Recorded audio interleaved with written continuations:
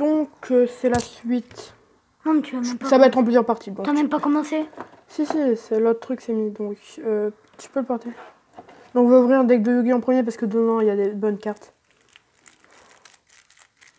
Et parce que aussi, il y a les 5 parties d'Exodia. C'est ça voilà, le meilleur. tu, vois- tu vois Tens. Tu vois Tens. Maintenant, maintenant, maintenant, je suis plus fort que toi. toi, tu n'as qu'Obélisque, moi, j'ai les, les trois dieux égyptiens. Euh, On va faire une ellipse parce que je sais pas couper. Je j'ai pas réussi à enlever.